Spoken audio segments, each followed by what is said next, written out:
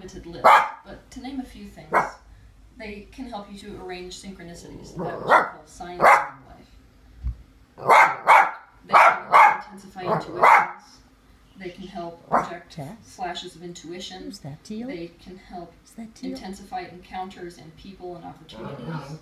They can offer healing and help if it's invited. They can keep you going in the direction of your joy, your intentions, and your desires. The thing about guides is they will support your free will. It's a good vibe. Because every thought that has ever been thought exists, uh, it's very important to explain to you exactly what a thought that thinks is.